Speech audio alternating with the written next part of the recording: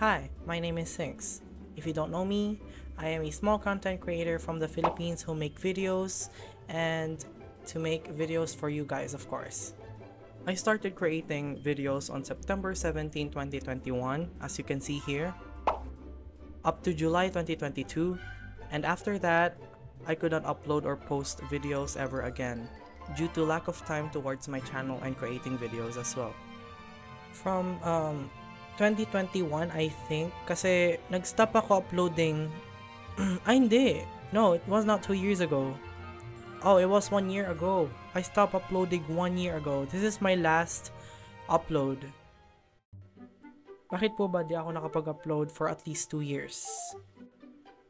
December. This Battle Asha is a cracked Philippine server which is pretty famous pagdating sa Asia countries and then cracked. Battle Asha is the most uh, like high pixel server you can find in Asia. Nawala yung dalawang um, bumubuhay sa Battle Asha. I can show you here. Yes, here. I can show you on battleasha.weebly.com. Battle Asha has been terminated. Thank you for your support. Ito, this was December 9, if I'm not wrong. Ah, ito. This one. About Us. Found by Deneen and Eugene in 2016. Battle Asha is a medium-sized cracked Minecraft Java Edition server based in the Philippines, formerly, formerly based in Malaysia under the leadership of Eugene. Who is Eugene? So, dito tayo sa history timeline para maintindihan natin. July 2013, Denny, uh, or is that how you pronounce it? Danny founded HKP Hcraft. So, after the name Battle Asha pala, madami pa palang history ang names ng Battle Asha. We have HKP Hcraft, HKP Hcraft, yes. July 2013. Noong January 2015, Eugene, Eugene founded Fallen Sky MC. February, February 2015, Denny and Eugene formed a collaboration. So, nag-collab sila. Denny and Eugene, nag-collab sila. And then, si Eugene, terminate niya yung Fallen Sky MC, which is yung ginawa niyang server. And then, si Denny naman, yung ginawa niyang HKP Hcraft, terminate niya rin. Naging um, co-founder na sila ng The Castle MC. The Castle MC is run by both um, by both Denny and Eugene on July 2016. On August 2016, yung name na The Castle MC is renamed to Battle Asha. December 17, Eugene retired. Ewan ko kung bakit, yon nag-retire na sila. February 2022, dito na pumasok, nag-retire na rin si Denny.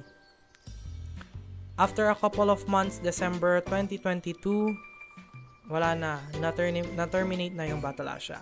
That's why nawalan ako ng contents to make about, uh, uh, nawalan ako ng contents for my channel because of what happened to Battle Asha. Which is, which is so sad. Kasi this was my, look, how many, how many videos did I make?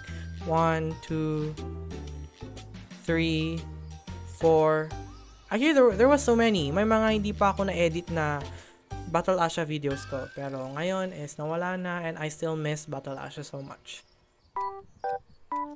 And that is how Battle Asha really affected the contents I am making for my YouTube channel.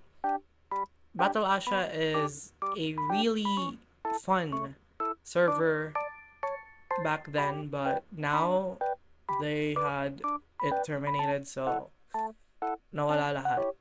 And yun yung dahilan kung bakit di ako nakapagawa ng mga videos for the past one for the past year uh, up to now. And well I am going to be back again with some contents. Pinagandaan ko yung contents na to. I think if you wanna know what my contents are gonna be my contents are gonna be uh, as usual it's gonna be gaming.